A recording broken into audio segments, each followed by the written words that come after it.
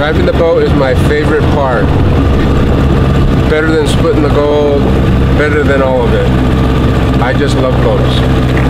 We're going to make America really great again. I promise.